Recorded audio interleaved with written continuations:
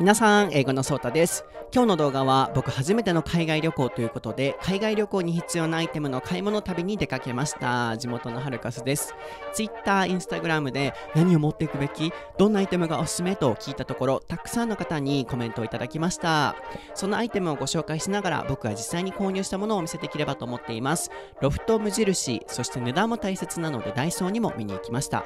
どこの商品がお手頃価格かつ質もいいのか僕なりにレポートしていますので皆さんのお買い物の参考にしていただければと思います。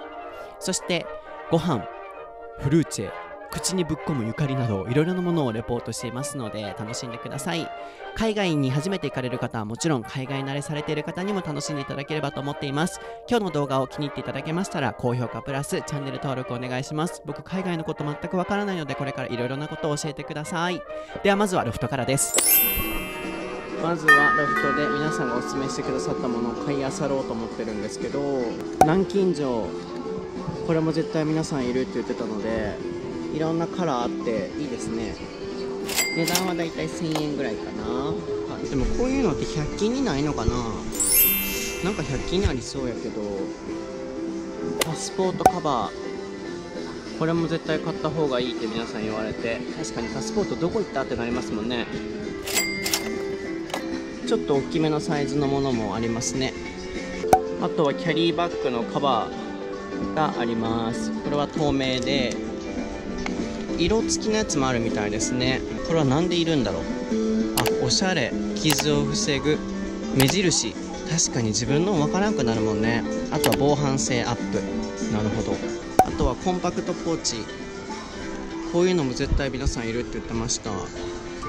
こういうのを全部貴重品入れてもうお腹の中に隠して歩くみたいなセキュリティポーチ。いっぱい豊富にあるね。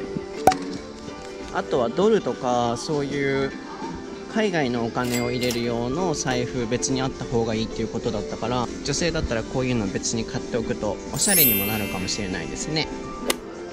日本食。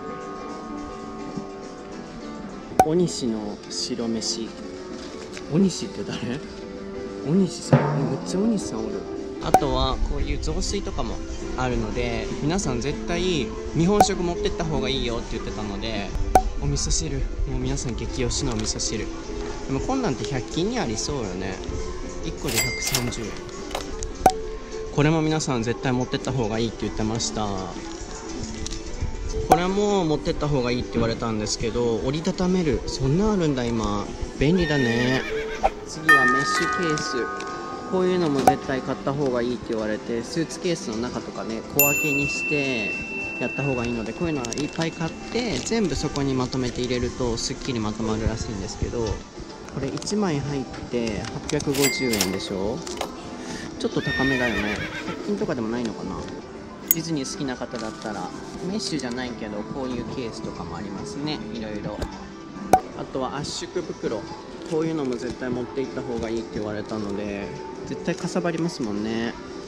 でもこれは100均にあるって聞いたので100均でも良さそうだけどロフトでも全部買えちゃいますね。なんか柄とか好きな方はこんなんでもありますし。ボストンバッグコンパクトになるやつ上に置くってやつ。これで2200円でこれぐらいまでちっちゃくなるみたいですね。ショルダータイプがいい方はこういうのも2800円ですね。え？ちっちゃチコバッグ。え？ちっこいからチコバッグっていうんかな。何やろ。やっぱりロフトはこういう品揃えいいですよね。いっぱいある。あとは皆さん絶対持って行った方がいいよって言ってたのが耳栓ですね。これで550円。結構するね。え何これ？フライトプラス。あなるほど。こう気圧の高いところで耳がキーンってなる人がつけるといいみたいですね。僕これちょっと買ってみよう。僕いつもこれなるんで。あとはアイマスクも絶対いるよって言ってましたね。備長炭あぶったんかなこれ。あぶって黒いみたいな感じ？でもいろんな柄もある。カモフラ柄アイマスク。なんでカモフラにするんやろ。狙われてる人用かな。あとはアイマスクスヌーピーとかもありますし。ああと勧められたのが機内用のスリッパ。うん絶対靴のままじゃしんどいしね。エコノミー症候群とかにもなるので。メッシュ生地とかもありますね。畳めるものもここにありますよ。ホテルで履く用のスリッパ、ビーチサンダルも皆さん勧めてくださってました。海外のホテルは汚いこともあるそうです。そうそう。あとフットレストも持ってった方がいいよって機内用に言われたんですけどおすすめがあるらしくて。あこれかもしれない。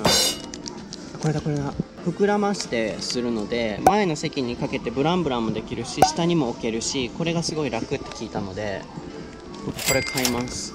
さっきのあのフットレスト買うならこれ絶対いりますよね。あとはフライトソックス。女性とかだったらね気圧の変化でむくみとかが出たりとか年配の方だったらエコノミー症候群とかね血流が悪くなってなるのでネックピロー。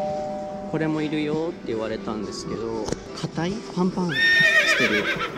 なんかねネックピローは無印のがすごいいいって聞いたので後でそこ見てみようと思ってます。低反発だからすごい体にフィットしそう。えめっちゃ気持ちいいこれ。多分4800円もするのでちょっと高いですよね。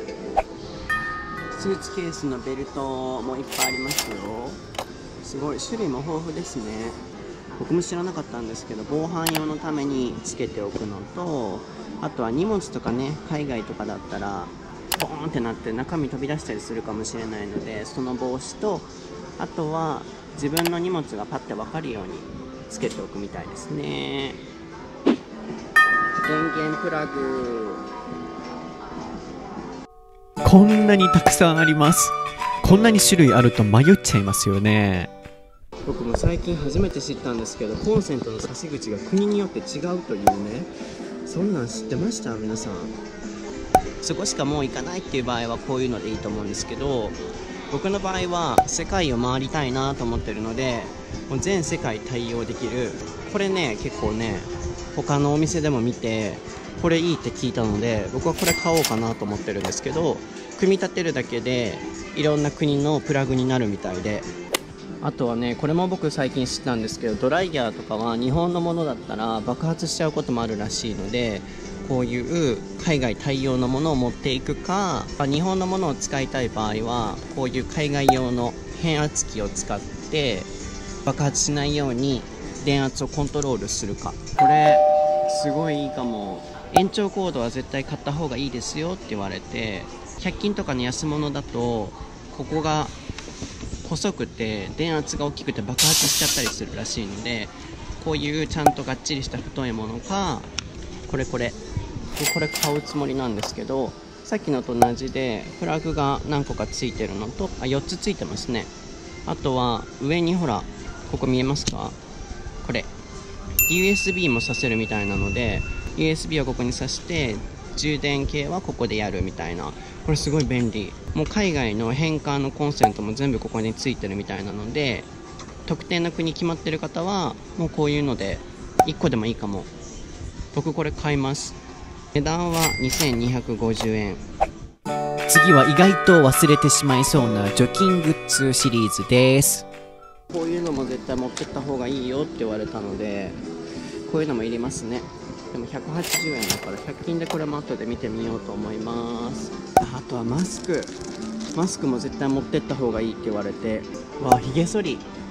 こういうのも絶対いりますよね。海外のホテルってこういうのも全部ないって聞いて。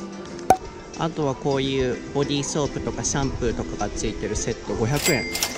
これだったら便利かも。僕これ買っとこうかな。皆さん洗濯バサミとかハンガーとか絶対持ってった方がいいって言ってて。えこれむっちゃいい。